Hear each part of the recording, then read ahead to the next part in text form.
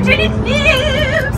Eclipse is a six-month-old Labradoodle. Her mom dropped her off because she's got a lot of energy and she really just needs to work on her manners. Her mom said she sometimes listens, she sometimes doesn't. She kind of does her own thing. One of her biggest issues is that she gets really, really overexcited when she meets new people and starts jumping on them pulling on the leash to get to them and just acting like a crazy, crazy puppy. So her mom wants her to learn some manners. She did tell me she sometimes knows sit and sometimes knows down, so we're gonna see if she'll do either of those things for me. You ready? Ready? Can you sit? Wow, that was good. Not for very long, but you did it. You did it. Do you know down? No, that's up. Do you know? Do, hey, do you know down? Good you're all over the place. You wanna go for a walk? Go for a walk. To. Where are you going? Come here. Okay. Okay. Come on. As you guys can see, we've got a little bit of work to do with Miss Eclipse, but we are gonna have so much fun working with her, getting her her manners, her basic commands, and just getting her going. If you guys want to keep up with her transformation and all of our other pups' transformations, just like and follow us on social media. Thanks again for choosing Bulletproof, guys. Say bye, Eclipse! Goodbye! Oh, my